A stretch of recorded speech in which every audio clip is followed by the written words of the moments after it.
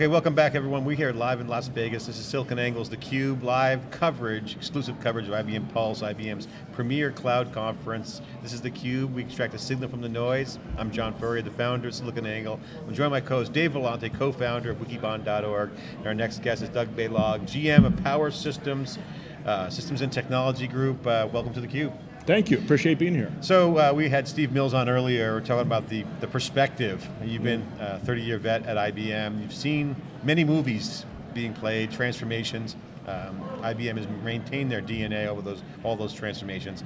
First, first question is, how does this rank uh, relative to inflection points within yeah. IBM? You get the cloud, you get the big data, everything's happening on-premise in the cloud, full disruption, yeah. A lot of opportunities. Yeah, as a 30-year veteran, I mean, this is, uh, I have to admit, sort of one of the most uh, profound set of changes occurring at a single point in time that I've seen in my 30 years. And we've gone through plenty of almost sort of single cycle changes, obviously some economics ups and downs, but, uh, but this is pretty profound what's happening, right? As you said, the whole role around big data and how clients are just drowning in data looking for solutions to that, trying to get business insights from their data.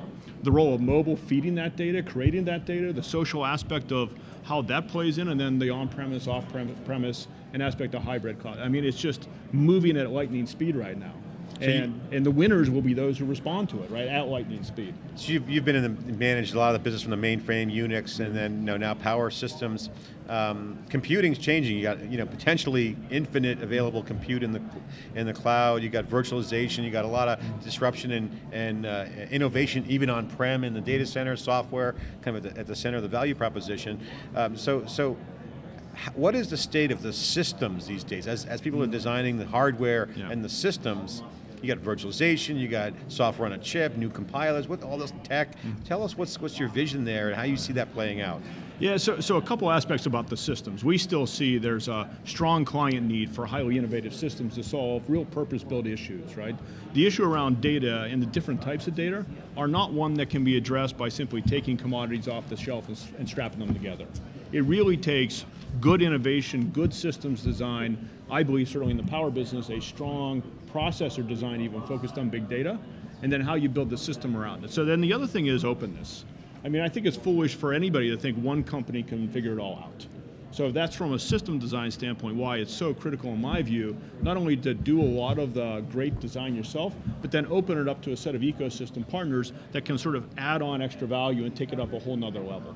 What's your experience with the ecosystem? I mean, obviously some ecosystem formulas are, are different, but now you mentioned that the entire landscape from channel partners to developers is different now. It's more open, it's more dynamic, it's more transparent. You know, we talked about democratization within here earlier, you know, democratization, mm-hmm. people are being liberated with software and, and big data. So is it this, is it a new formula? How, what's your approach? How are you going to win the ecosystem? Yeah, so, so the, you know, in, in the past we would kind of approach the ecosystem almost one vendor at a time saying, hey, would you come work on power, right? One vendor at a time. You through it, do it through economic models, maybe it's investments of people and capital up front, maybe it's investments at the back end. That just doesn't scale though in the end. So you've got to find a new way to attract the ecosystem. Obviously, the approach we're taking is this open approach. So we're attracting the open ecosystem in our view through a couple of things. First off is open power. We fundamentally believe open power changes the game for the power architecture. It creates a consortium-based approach. Some describe it as an ARM-like model for the data center that says, you know what, anybody can have access with intellectual property to the power processor. They can do derivatives off it to add value to it. In fact, at the end of the day, and it says surprise some, we'll even let eventually clients or, or users take it and fab it at their own fabs. So it, it creates a whole new access point for technology. We were never going to sell power servers from IBM to some of the large internet data centers. They've got a model yeah. that says they're going to build it themselves. We're seeing that validation. We just covered in the Open Compute Summit in San Jose, and, and uh, Dave and I were joking because I was just at the Apple 30th anniversary yeah. of the of the Mac, and you know, seeing all the old timers there talking about, you know, I had 6K to work with and had to take it from the Finder right. from MacPaint.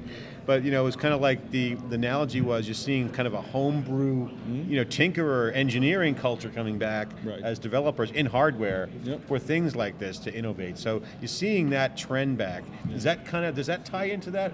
It, it- absolutely does. I mean, from an ecosystem, we're not just stopping though at the hardware layer in terms of innovators. Certainly, we love the fact that a company like Mellanox is uh, part of Open Power and bringing I/O innovation. We love the fact that NVIDIA is bringing uh, GPU accelerators to the party.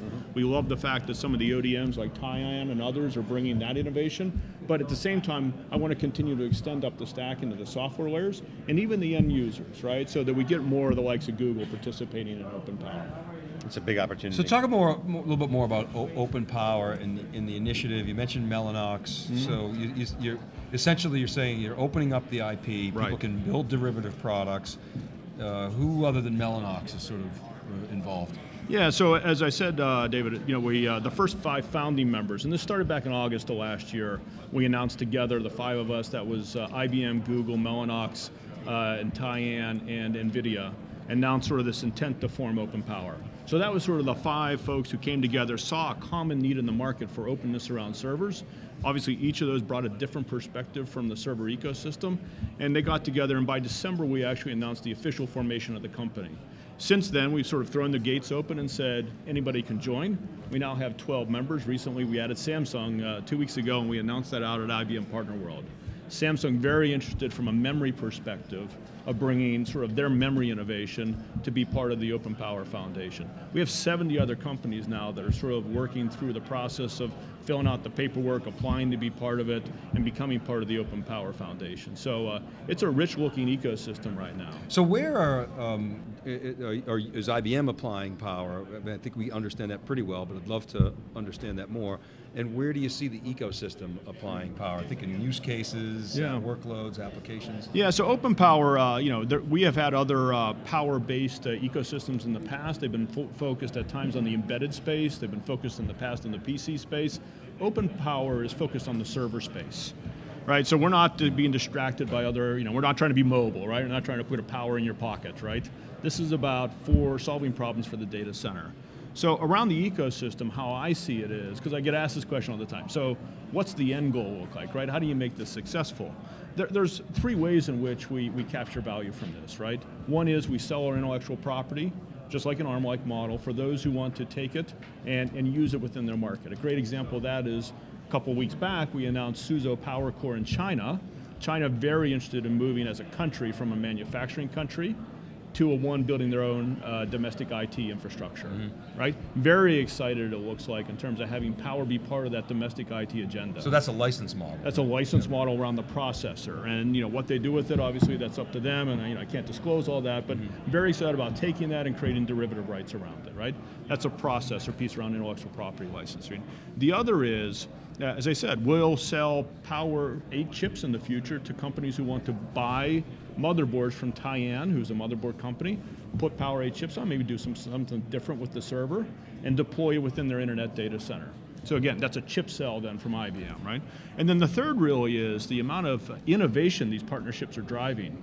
As we look at some of the innovative features coming to market here later this year around Power 8, the ability for these companies to innovate, you know, in for the market, but then I get to capture that innovation and bring it in IBM servers, allows me to bring phenomenal innovation to my clients. So, in particular, number two is so. uh, If you go back ten years, you looked at big giant internet data centers.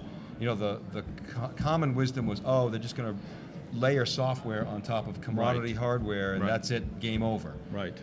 What's actually happened is is the, the a whole the flip 180 flip right Yeah. They're highly customized right I mean you look at OCP as John said we were there a couple weeks ago you talk to Amazon they say oh OCP not enough customization Right, for us right. right. so of course you come from the, the world of, of, of customization so Yeah. first of all th- uh, did that surprise you at all is it something that you you expected and how does uh, particularly number two sort of power Right. eight chips Yeah. going into the ecosystem play into that world of high customization Yeah, one of the things we found through engaging with a lot of these internet data centers, as you said, is they're each doing innovative things, but they're all slightly different.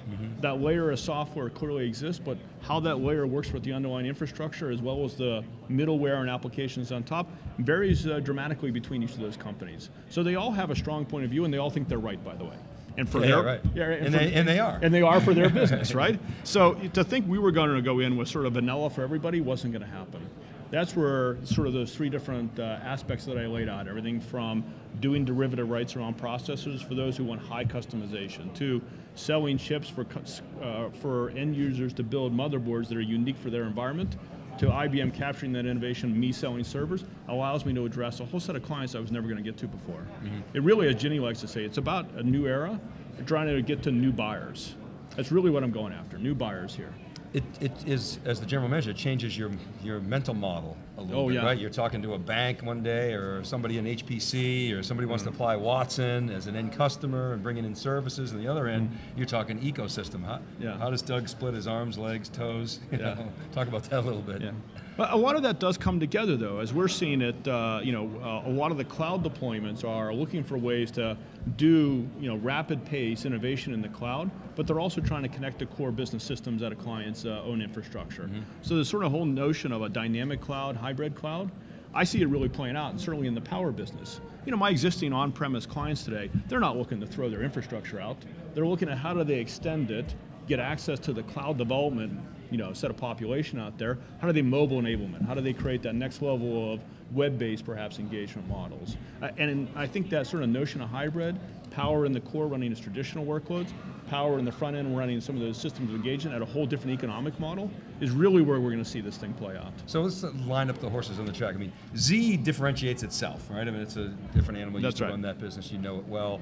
Um, so thinking about obviously you got x86, Mm-hmm. you got we got Power, we got we got SPARC, you know, hanging around. I've heard that. Getting, I've heard getting about that, injection yeah. of capital from you know Yeah. Japanese government. Okay, so Mills predicted it was dead, but the you know Japanese government changed that a little bit. But so you got the the, the horses there, Yeah. the big players.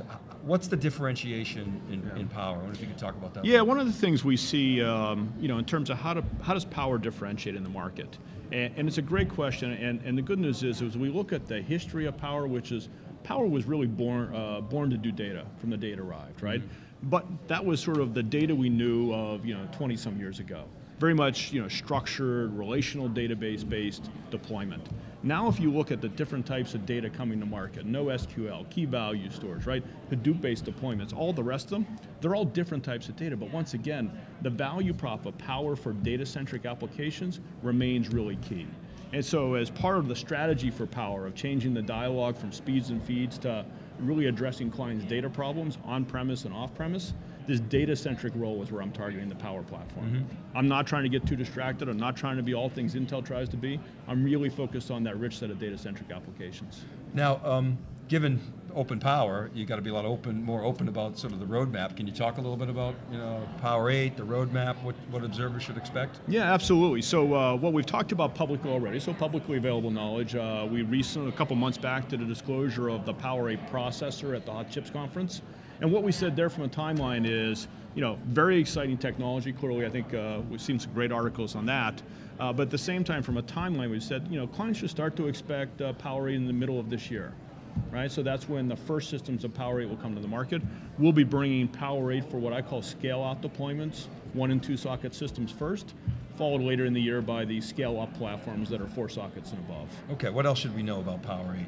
Well, I think uh, you know it was really designed for big data from the way in which the processor was designed. So again, if you sort of break down the big data needs, it starts with running the calculations. You need lots of processors, lots of cores, lots of threads. Exploiting that. Yeah, I mean, you got to have you got to have the bandwidth of the process of the compute to run the calculations, right?